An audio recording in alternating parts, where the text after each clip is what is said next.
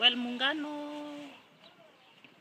I joined in 2007 after exchange program of Kiwasco in Kisumu.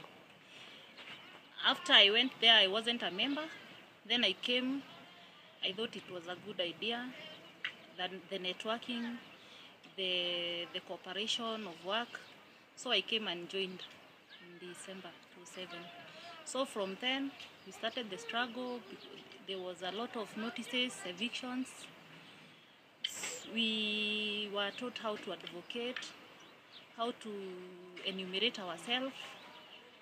Then I was the leader of enumeration in my settlement, which is Kiamutesya. We were doing the networking of other villages, Mathare network. So after the enumeration, we had to go and negotiate to Nairobi Water because now the water was there, but it was illegal. By 2008, Kosovo, uh, they were given water by by a certain priest in St. Teresa's. So the Nairobi Water was planning how to dislocate the water because they were not paying. They were just given because the, by then the village was new.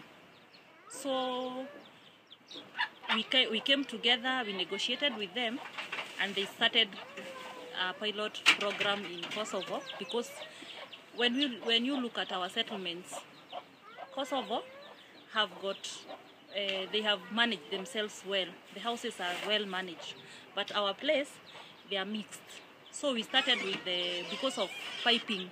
We started with Kosovo, then the project worked, and then they came to village, the the, the other villages. But we have achieved. We have uh, some water kiosks. They build us water kiosks. Now we, we had now to advocate more so that they can connect water in households.